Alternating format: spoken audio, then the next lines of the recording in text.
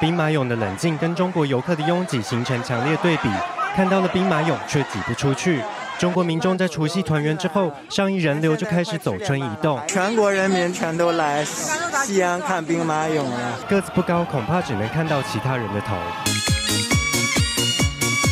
众从早玩到晚，还有中国网友说，他们重现了一千年前的大唐不夜城。网友说，完美复制的还有《清明上河图》，不过却有民众相当担心，害怕河南开封这座古桥承受不住重量。春节期间遇到人潮，或许还能忍耐，但眼看假期就快放完，还是无法回家或是返回工作岗位，可能就比较棘手。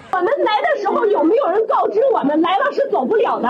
不断有中国各地民众驾驶车辆搭船渡海来到中国避寒圣地海南岛，不过收假时间都差不多，又遇上大雾，导致海南岛出现只进不出的怪异情况。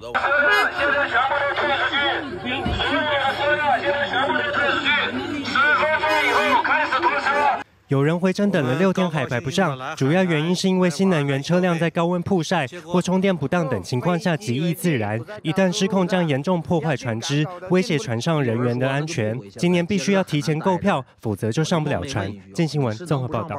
立刻下载静新闻 App，一手掌握新闻时事，尽善尽美，尽好新闻。